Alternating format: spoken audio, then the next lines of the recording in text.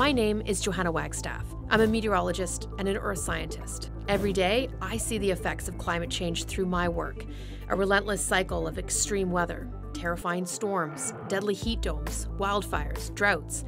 But I remain in awe of the natural world and how it finds ways to adapt. And that's what we explore on Planet Wonder.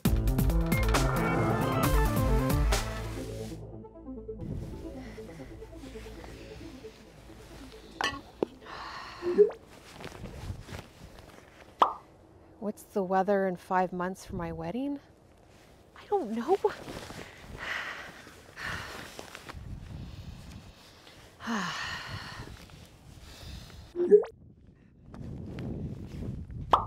you said it wasn't going to rain. Actually, I did. Now, you might think I smirk at our use of weather apps, but I actually love them. I think it deepens our relationship with weather. I just know it's not my forecast, and I worry about our reliance on them during extreme weather. So that got me wondering how reliable is the weather on your phone?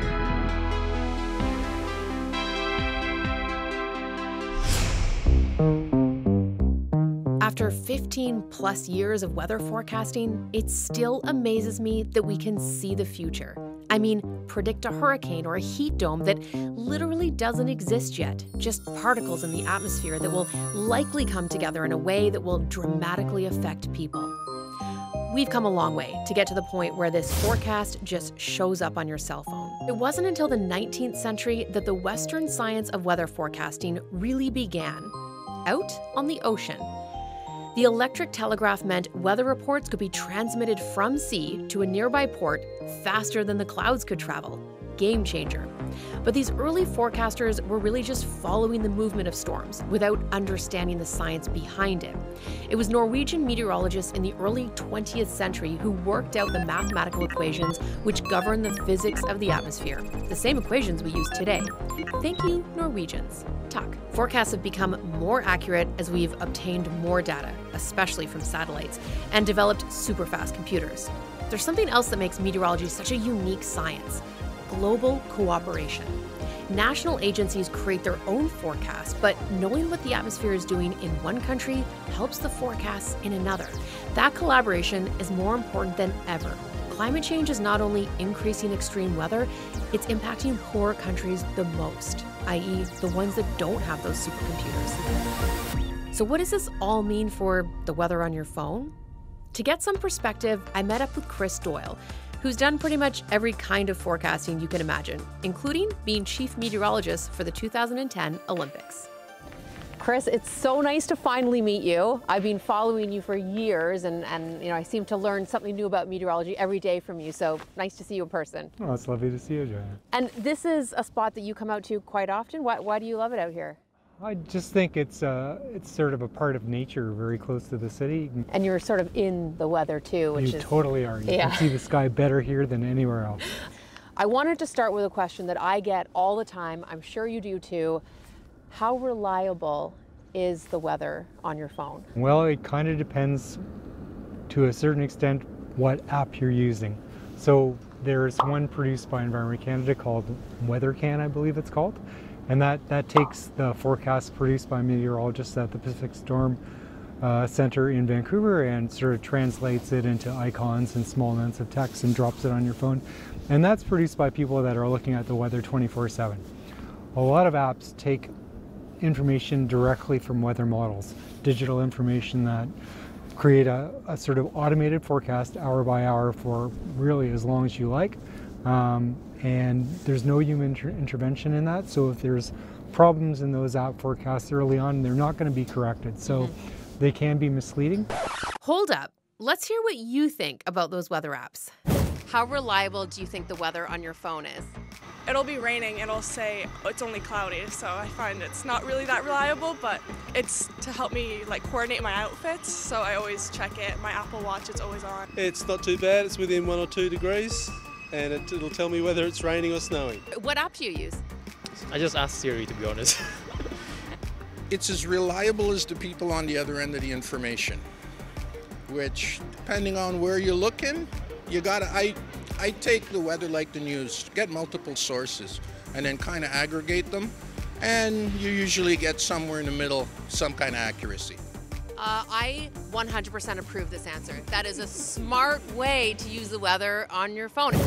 And it also depends on the timeline that you're asking for as well. That, that's right. Uh, most apps are pretty good if they integrate modules that bring in radar and translate into, into a forecast you can use uh, in the short run. And it also depends where you're asking the question as well and, and how much or how many data points there are around you. Well, that's, that's true. Model quality and forecast quality varies with, sort of varies directly with the number of observations. The more obs you have, chances are the better at least your short-term forecast is going to be. So if you're in an area that's that doesn't have a lot of data, like you're on the west coast of Vancouver Island, forecasts there are going to be at least sort of in the short to medium term less reliable than one well inland where you're in a highly populated area. Forecast, that's my jam. Come with me as I take you through the art of looking into the future, aka let's do a weather forecast together. Now, the basis of every forecast when you're looking into the future is understanding what's happening now because you can't move the atmosphere forward in time until you understand what it looks like right now. And I've got a lot of cool tools to do this. Starting with the satellite, I like to start here with a look at the Pacific Northwest if I'm forecasting for Vancouver. I really get a sense of where the systems are, the shear and twisting. I can even tell what heights these clouds are at. Then I drill down to radar, which is precip happening on the ground right now to get a sense of what's falling from the sky. And most importantly, is taking a look at this gobbledygook. This is weather station data for the Pacific Northwest, and it's an international code in understanding what every weather station is telling us about the weather right now. So where the winds are coming from, temperature, dew point, pressure.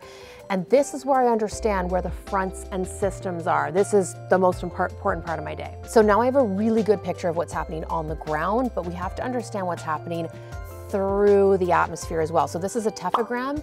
Uh, this is the data we get from balloons and it tells us what the atmosphere looks like, the temperature, dew point, the wind direction, and this really gives us a sense of how unstable the atmosphere is. Okay, now we've got the current picture, let's plug it into the models.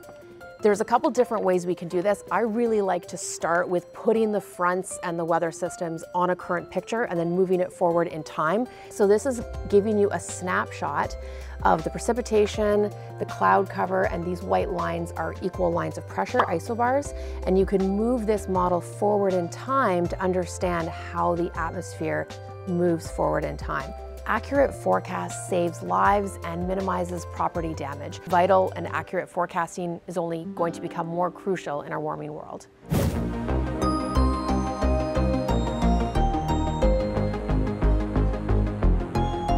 So Chris, how has forecasting changed over the years? It's changed enormously over the years. I mean, with the advent of sort of digital technology, computers, weather really started to revolutionize in the, in the 60s and, mm -hmm. and 70s. So that's when numerical weather prediction models, computer models of the, of the atmosphere could be feasibly developed. People thought of them before they thought we can sort of solve this weather problem if we solve enough equations in a yes. fast enough period of time. But the first time they tried it, it took two days to produce a 15 minute forecast. So we've always known the equations of the atmosphere, we just couldn't compute them fast enough. That's right, and that's where computers revolutionized everything. Once you had a machine that could do all those calculations for you, you could produce a forecast in a timely way.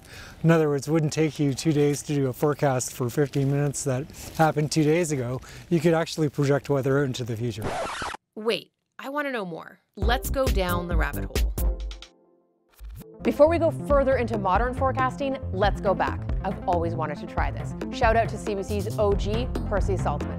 And that area of action is even greater than this and more violent. You have a, a very tightly wound up storm that covers all of Western Canada. Here we go.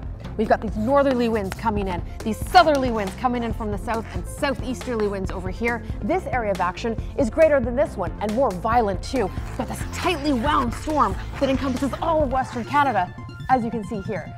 Okay, that was pretty fun. Through my experience, our forecasts are getting better and better. Computer models view the, the atmosphere as a, as a three-dimensional series of cubes from the ground up and through the depth of the atmosphere up to, up to about 60 kilometers. And they resolve that whole volume of space into these grid points. And the more grid points you have, the more you can simulate how the, the winds move and the, and the weather is created. And the, but the more grid points you have, the more calculations you need to do. And the faster you need to do them. And it's, so it's this sort of uh, advent of more advanced computing systems, the, the onset of parallel processing in, in computing. And so it is just going to get better and better as computers get faster and faster. To, to a limit. Hmm. One of those limits is data. The more data we put into those computers, the better. And one way to get that data is weather balloons. CBC meteorologist Ashley Brauweiler interviewed Carla Hartley. Carla, show us your laboratory. We are going to use hydrogen. We have a hydrogen generator on site, so we use hydrogen to fill up the balloon. Um, uh, how much actually depends on the weather conditions. Um, if there's precipitation outside, then you know you might want to put a little bit more in just because we, we're aiming for a certain ascent rate. Today I'm going to put in a thousand grams of hydrogen.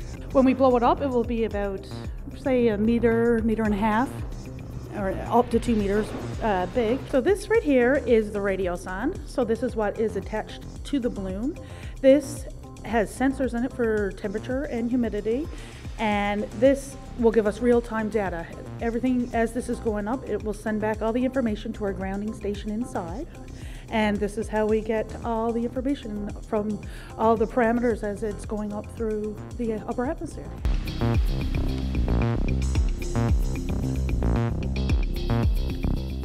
What happens when it continues to go up? How big does it get?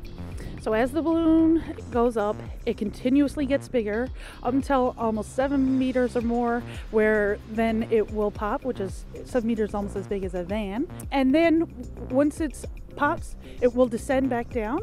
The temperature, the pressure, and the humidity is all coming in here now. So now we can sit here and watch until the uh, balloon pops.